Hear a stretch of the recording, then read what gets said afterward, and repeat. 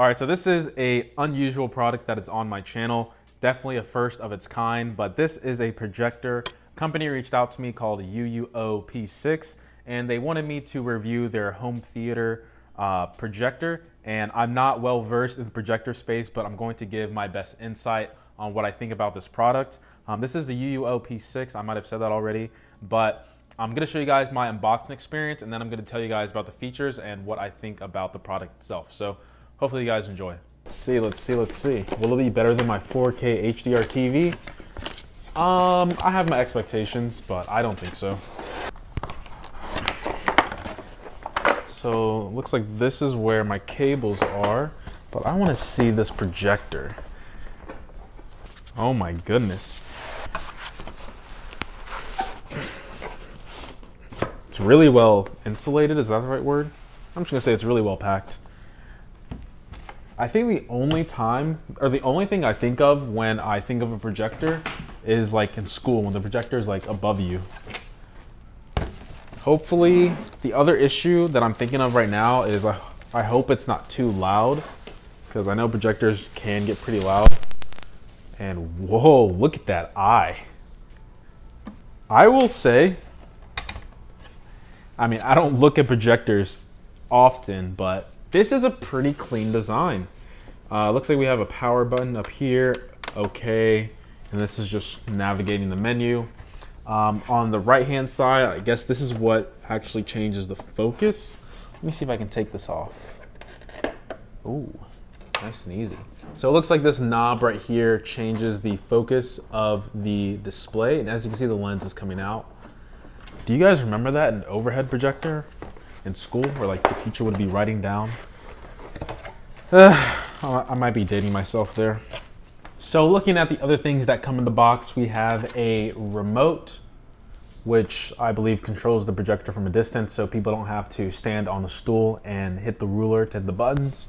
We also have an HDMI cable, which is really good. I like when companies provide people with HDMI cables, not HDMI cables, but just cables in general. Also have a power adapter, which, you know, you, you gotta power the machine somehow. And then we have what looks to be a video and then two audio into a single port.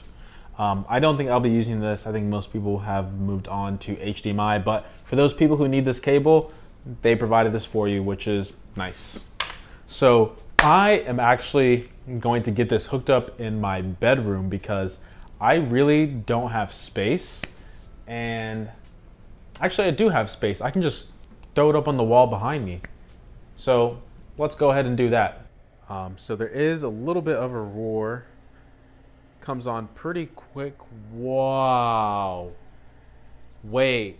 My Apple TV wallpaper looks so good. I keep saying wallpaper, screensaver. Wait, what is this? LA? Downtown Los Angeles. All right, let's let's play an episode on a Netflix show real quick. Okay, so for one, the volume is a little bit there's no punch to it, but watching content on this this is like a movie screen. Okay, that scared me for a second. Wait, this looks like I'm at a movie theater. He was picked up off Mass Ave a few times when he was living here. Wait, this looks so good. Whoa, what? A waste of gas. He could be anywhere. Yeah, I, I, Okay, I don't get copyright striked, but wow. This projector, I was not expecting it to be this good. So as you guys can see from my first impression and unboxing, I was quite impressed by this product. I wasn't expecting it to look this good. And honestly, I think I said in the video that um, it was almost better than my 4K TV. I can't remember, but it looks really good. Um, what I want to point out is when I was watching TV shows and movies, it looked like I was watching it in a movie theater.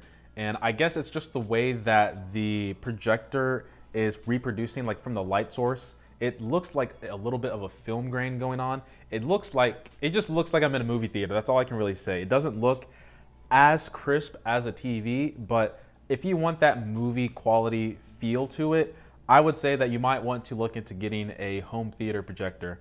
But another thing I want to say is I don't have a actual projector screen. I read online that projectors look a lot better when you have a projector screen, but all I have is my white wall, and I know that a white projector screen produces better brightness, and then a gray projector screen produces better color.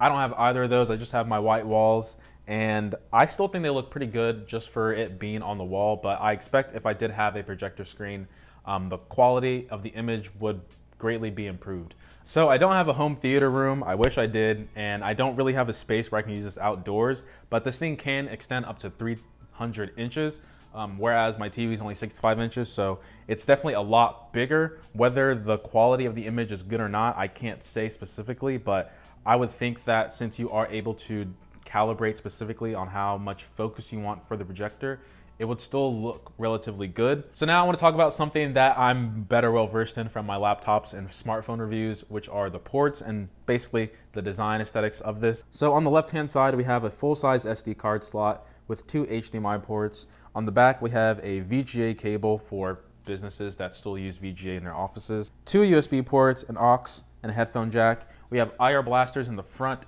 and the back, and then on the right hand side, we have our keystone, our manual keystone. It also has a digital keystone as well, so you don't have to um, mess with this all the time to adjust the lens and the focus. You can do it digitally within the software itself. Um, in terms of the overall aesthetics, all around the outside it is black, and then on the top we have this brushed, I guess, plastic gray finish. It's more of silver. Um, then on the top, we also do have our power button and then our menu buttons as well if you don't have the remote, but I suggest using the remote most of the time. Um, on the bottom, we do have mounting holes, like I said in my unboxing review. So if you want to mount this up towards the ceiling, you can do that. And now let's talk about some of the features it has. So like I said before, it does have the manual keystone correction. And just to get into a little bit more depth of what that is, that's basically just you trying to focus the image. I don't know what that noise was. It's much better to do your manual keystone correction first because it, you are able to get just a little bit more accuracy. But if you don't have that option or you're just, I guess, lazy, um, or you can't reach the manual keystone on the side, you can use the digital software that comes built in and it still works relatively well. So this does have safety precautions. So if the LED bulb inside reaches 158 degrees, it will shut itself off and try to dissipate the heat as much as possible. Um, I haven't gotten to that limit yet and I've used this for about three hours. So um, I don't know when it's actually going to hit that limit, but people who are well versed in projectors probably know when you're going to hit that 158 Fahrenheit limit. Um, in terms of the volume, I also want to touch on this. So the built-in speakers aren't the greatest, in my opinion. I would say after about like 80, if you go higher than 80, it does get a little bit distorted. Um, but I think people who are buying this for home theater use, you probably have some type of external sound system that sounds way better than probably what most people have to offer.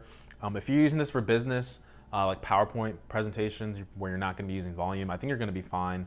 Um, also, if you're using this indoors, like if you're trying to replace your TV with your projector, I think you're going to be okay with the speakers that are built inside here. Just don't expect any crazy surround sound, stuff like that. I didn't do any gaming on here, but I would say I would much prefer playing single player games on a projector.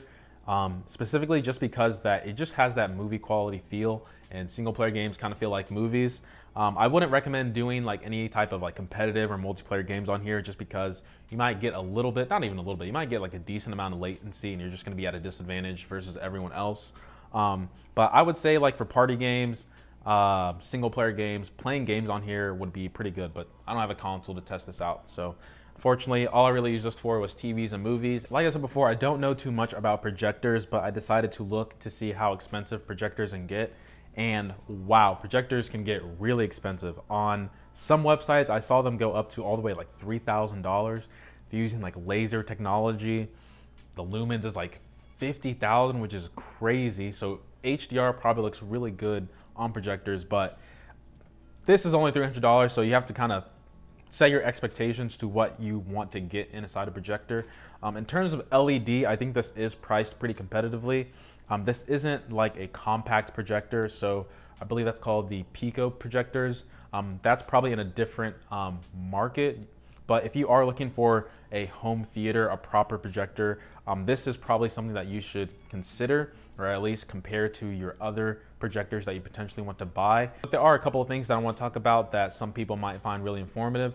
So in terms of the sound, I know sound is a pretty big um, component when it comes to projectors. And this one gets at max, I've heard about 55 decibels.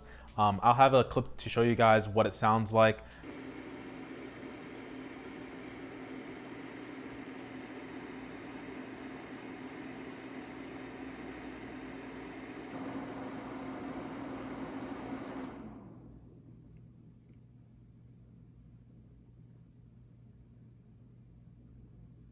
So like I said before, if you're using this for more of a home theater use, I don't think the noise is going to be that big of a factor just because what you're watching is probably going to be louder than the projector itself. But if you're using this for more of like a business use, like doing a lot of presentations, you might want to consider that the noise that this thing does give out might want to look into getting a uh, Pico projector. So I might be overreaching here with my dislike, but I wish you could change the keystone um, a little bit more with the remote. I know there's something called like the lens correction, but I know that's only offered in like really high end projectors. Um, if that's something that could be implemented in more of, I guess, the more budget friendly projectors, that'd be pretty nice. But the digital keystone works pretty well. Just wish that we had a little bit more um, keystone correction when it comes to getting that perfect image quality. All right, so the question now is, do you gotta have it? And it's pretty light, I forgot to say that, but um, you have to be a very specific target audience for this. Um, if you're shopping for a TV, a projector is probably not going to cross your mind at all. But if you're a person using this for home theater use, then this is something that you might want to consider. Like I said before, at least compare it to the others to see what this has to offer compared to the other things that you're looking at. Um, for 274, it's I mean, like I said, I don't really know how projectors are in that competitive price point because there's a lot of projectors and the range that it goes from. It goes from like $50 all the way up to like $5,000. But I think what you get inside this projector is pretty nice. It's LED, so it's gonna last a very long time. Um, it does get a little bit loud. I don't think a lot of people are going to be mindful of that if you're using this for home theater. But that's all I can really say about this UUO-P6. So that's going to do it for me today, guys. If you did enjoy the video, please make sure to subscribe to see more electronic content in general. I'm going to try and bring more stuff than just laptops and phone reviews because there's a lot more technology out there than people realize. But if you did enjoy the video, please make sure to hit the like button. But if you didn't like it, dislike it, um, leave a comment if you have any questions. I'm going to try and answer them to the best that I can. And as always, guys, much love.